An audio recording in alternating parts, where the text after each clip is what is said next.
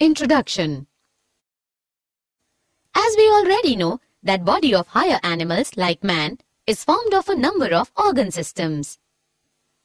Yes, some of the examples are digestive system, respiratory system, circulatory system, excretory system, etc. So we can say that each system is specialized to do a specific function such as nutrition, digestion, respiration, transport of materials, excretion, respectively. In each system, all the organs work together so that whole of the system can work properly. Yes, in other words, we can say that all the organs of a system coordinate with each other so that the system can work properly. Coordination is the working together of the various organs in a systematic manner so as to produce a proper reaction to the stimulus. As we already know that something is called living when a movement is observed in it. This movement can be due to growth, as in plants, a seed germinates and grows. This movement in plants is stopped after a particular time. Yes, on the other hand, in animals and some plants, these movements are not connected with growth. Some examples of it are running of a dog, playing football of children, and chewing cud of cows. These movements are not related to growth. If we analyze these movements, we find a reason behind each and every movement. The dog may be running because it has seen a cat. Children play to have pleasure. Cows chew cud to help break up tough food so as to be able to digest it better.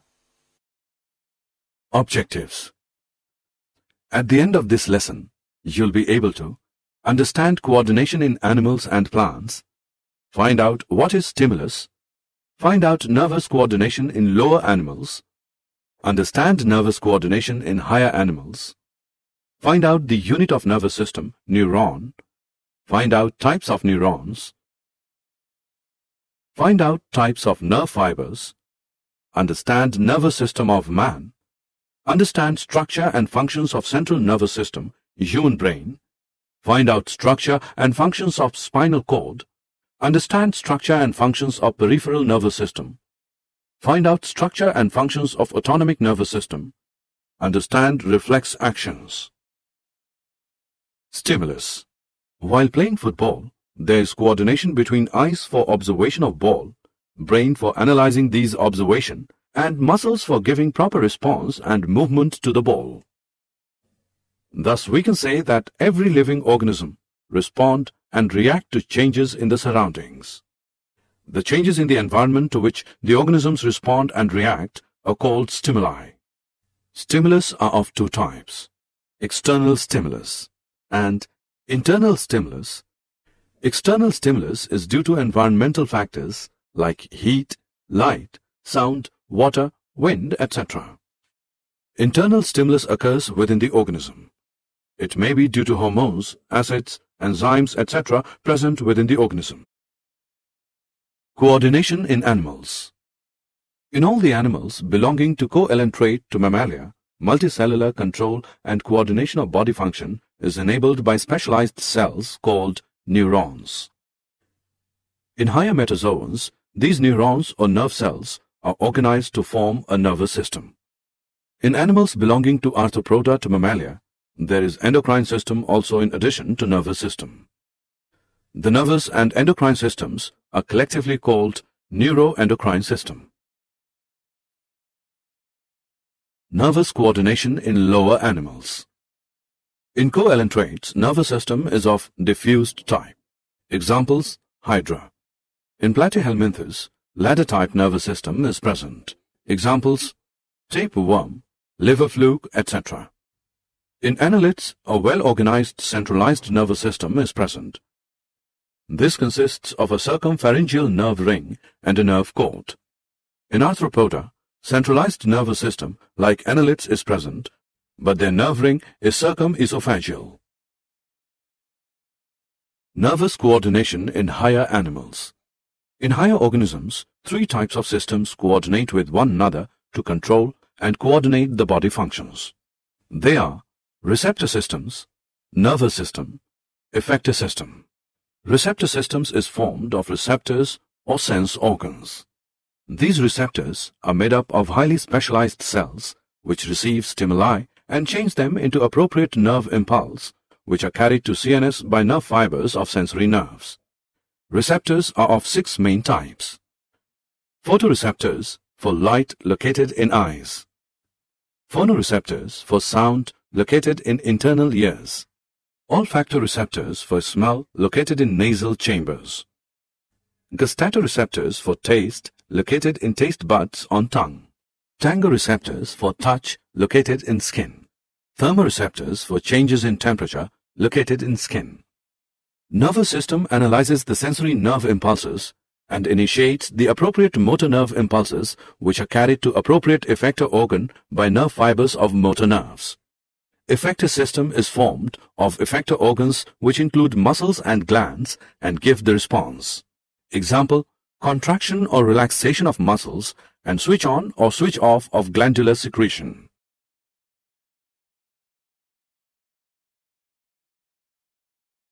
Nervous system of man The function of nervous system is to coordinate the activities of our body. It is the control system of all our actions, thinking and behavior. The nervous system helps all other systems of our body to work together. The human nervous system receives information from the surroundings, processes it, interprets it, and then responds accordingly. The nervous system also passes information from one internal system to another. Example, as soon as we put food in our mouth, it immediately causes the release of saliva from the salivary gland. Human nervous system is composed of three parts.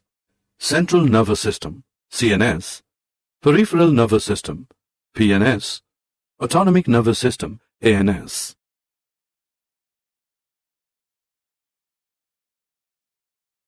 Neuron.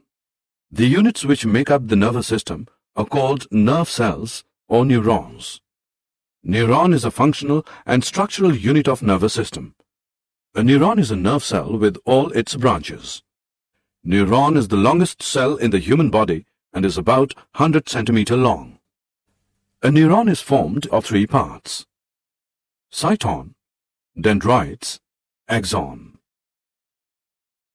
Cyton. Cyton is a typical animal cell type structure which contains cytoplasm and a nucleus. It is spherical in shape and about 4 to 135 μm. It has a granular cytoplasm called neuroplasm which is enclosed by cell membrane called neurolemma. It also has a large spherical and centric nucleus with a nucleolus.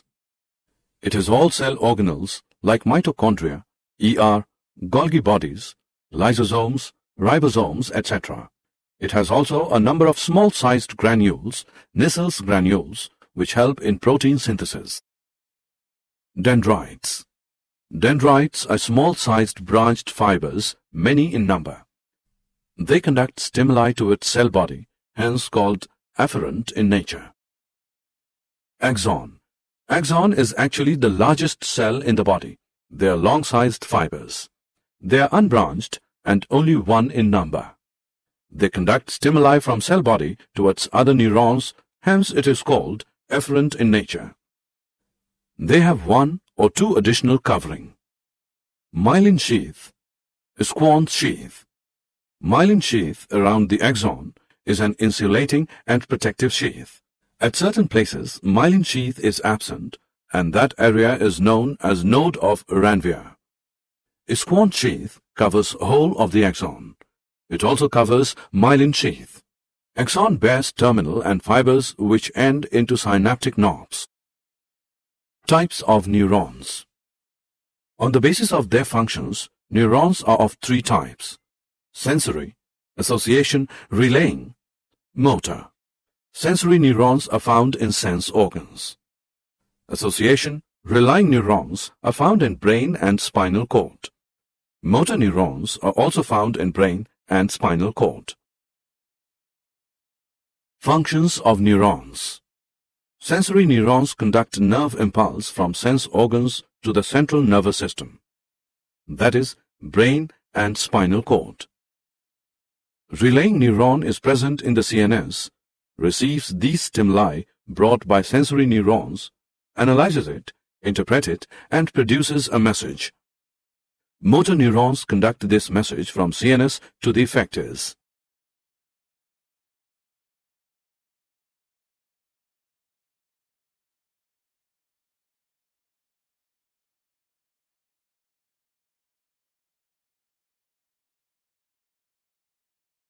Central Nervous System Human Brain Consists of brain and spinal cord in animals. All life activities are under control of the brain. Human Brain Brain is a soft, whitish, large and slightly flattened structure present in the cranial cavity of cranium. Weight of brain is about 1200 to 1400 gram. Human brain is covered with three meninges or membranes. Pi is inner meninges, arachnoid is middle meninges, and dura mater is outer meninges. The space between membranes is filled with cerebrospinal fluid. Brain has gray matter outside and white matter inside. Parts of brain. Human brain has three parts. Forebrain, midbrain, hindbrain. Forebrain is anterior two-third part of brain. It is main thinking part of brain. It has three parts. Olfactory lobe are one pair small-sized club-shaped. Cerebrum is the largest part of brain and forms about 80% of weight of brain. It has one pair of cerebral hemisphere. Each has four lobes, frontal lobe, parietal lobe, temporal lobe, and occipital lobe. Diencephalon is made of thalamus and hypothalamus. Midbrain is formed of two parts. Optic lobes, cerebral peduncles. Hindbrain also has three parts.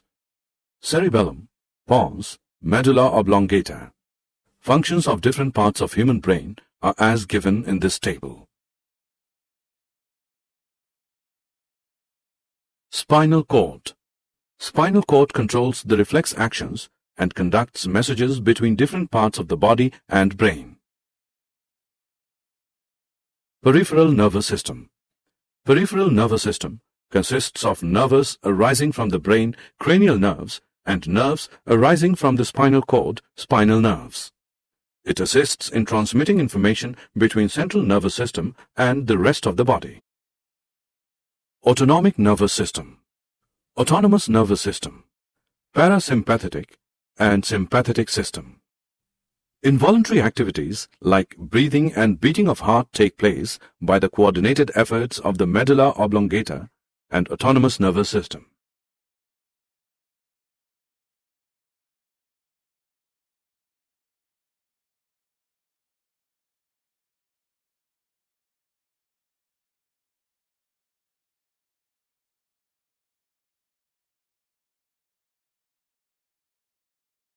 Reflex actions. When a receptor is stimulated, it sends a signal to the central nervous system where the brain coordinates the response. But sometimes a very quick response is needed, one that does not need the involvement of the brain. This is a reflex action. Reflex actions are rapid and happen without us thinking. Example, you would pull your hand away from a hot flame without thinking about it. The process is as follows. A receptor detects a stimulus. This is indicated by the red on the hand. A sensory neuron sends a signal to the relay neuron. Then relay neuron sends the signal to the motor neuron. Then motor neuron sends a signal to the effector. Then effector produces a response. As a result, the hand is pulled away quickly.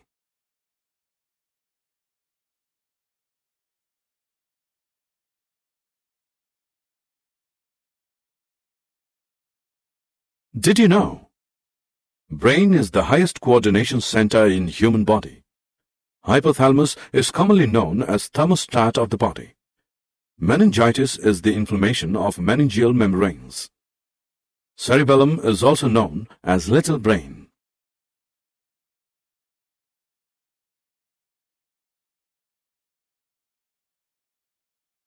Summary Let us summarize what we have learned. Control and coordination are the functions of the nervous system and hormones in human body. The responses of the nervous system can be classified as reflex action, voluntary action, or involuntary action. The nervous system uses electrical impulses to transmit messages. The nervous system gets information from our sense organs and acts through our muscles. Chemical coordination is seen both in plants and animals. Hormones produced in one part of an organism move to another part to achieve the desired effect. A feedback mechanism regulates the action of hormone.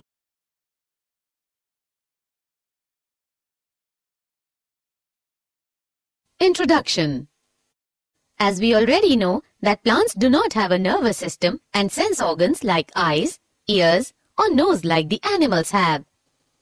Yes, but they can still sense things like light, gravity, chemicals, water and touch by actions of hormones on them. So we can say that plants can sense the presence of stimuli and respond to them. We can also say that the hormones in plants coordinate their behavior by affecting the growth of a plant. Yes, and the effect on growth of the plant can result in the movement of a part of a plant like root or stem. The plants respond to various stimuli very slowly by growing.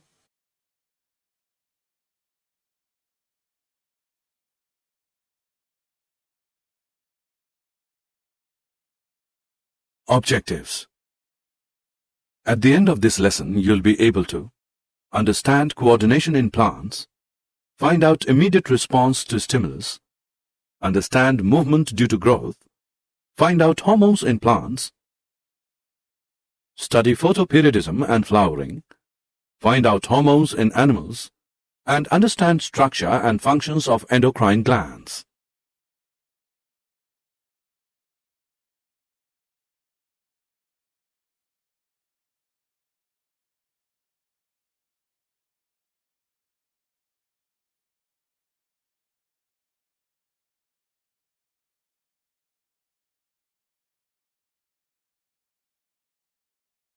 Coordination in plants.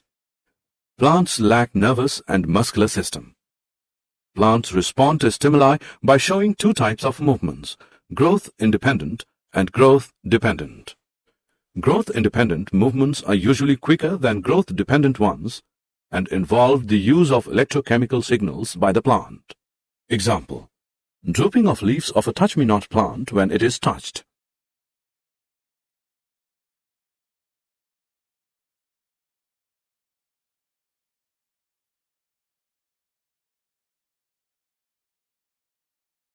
Immediate response to stimulus. The movement of plants in the direction of stimulus is known as tropism. Tropic movements are shown in response to environmental factors such as light, gravity, water, and chemicals. Growth-dependent movements or tropic movements are slow, occurring either towards or away from the stimulus. Phototropism is directional movement of a plant, plant part, in response to light. Example, shoots show positive phototropism. Plant roots are negatively phototropic, whereas plant shoots are positively phototropic. Geotropism is directional movement of a plant, plant part, in response to gravity. Example, roots show positive geotropism. Plant roots are positively geotropic, whereas plant shoots are usually negatively geotropic. Chemotropism is directional movement of a plant or plant part in response to chemicals. Example, growth of the pollen tube towards the ovule. Hydrotropism is movement of a part of a plant in response to water. Example, roots.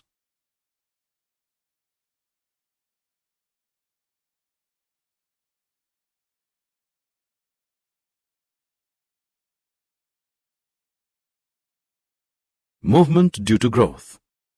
When a tendril comes in contact with the support, then the part of the tendril away from the support grows more rapidly than the part of the tendril that is in contact with the object. Thus, the tendril circles around the object and appears to cling to it.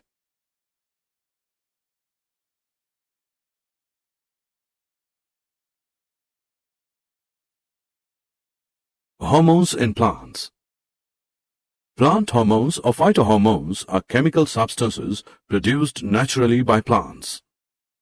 They are capable of being translocated and regulate one or more physiological processes when present in low concentrations. Plant hormones and their functions are as given in table.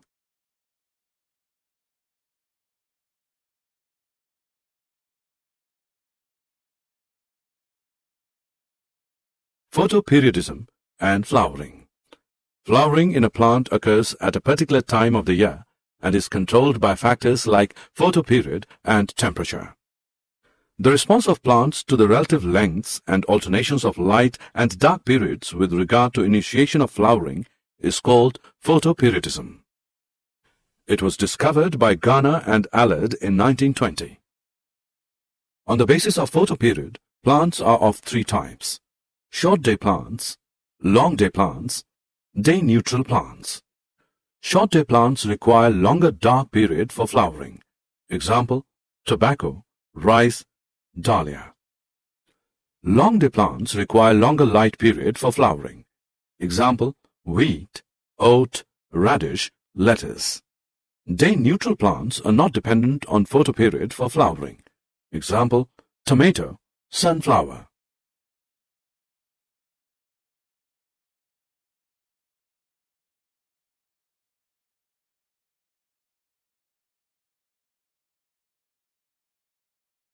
Hormones in animals. The term hormone was introduced by Bayliss and Starling. The hormones in animals are produced by the endocrine glands and are chemical substances that control and coordinate activities of living organisms and also their growth. Animal hormones do not bring about directional growth depending on environmental cues, but promote controlled growth in various areas to maintain the body design animal hormones and their functions, and deficiency diseases are as given in table.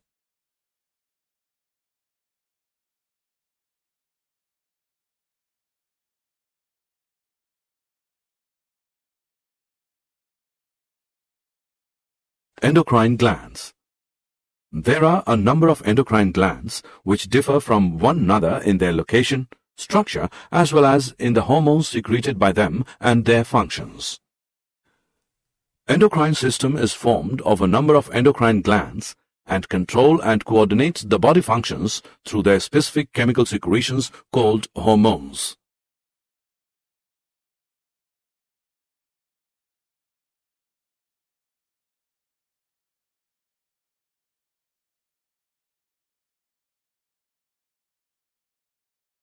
Did you know? Thyroid gland is the largest endocrine gland of the human body. Deficiency of thyroxine in infants causes cretinism characterized by reduced physical, mental, and sexual growth. Deficiency of iodine in the diet causes goiter, which is characterized by swollen neck. Adrenaline is also called emergency hormone or triple F hormone. Pituitary gland is commonly known as master gland. Deficiency of growth hormone, GH, causes dwarfism, while its excess causes gigantism. Deficiency of insulin causes diabetes.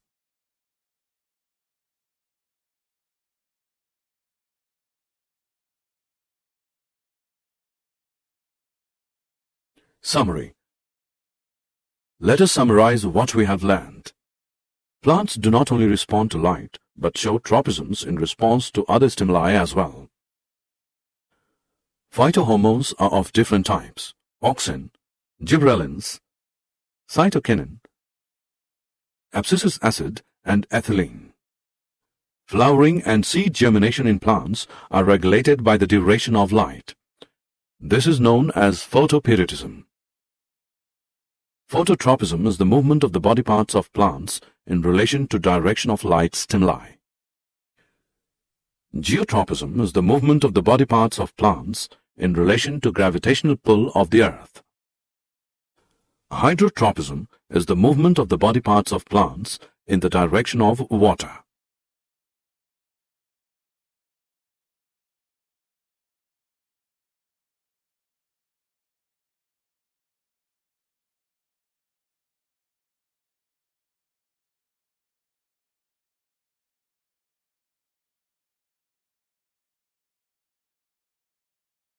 Endocrine system is formed of endocrine or ductless glands whose secretions are called hormones.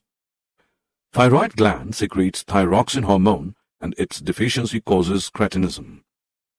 Parathyroid secretes PTH, which regulates calcium-phosphorus balance inside the body. Adrenal glands secrete two hormones, corticoids and adrenaline. Hypothalamus secretes releasing hormones which regulate hormonal secretions from anterior lobe of pituitary. Pancreas also secretes two hormones, insulin and glucagon, which regulate glucose level in blood. Testes secrete testosterone and ovaries secrete estrogen and progesterone.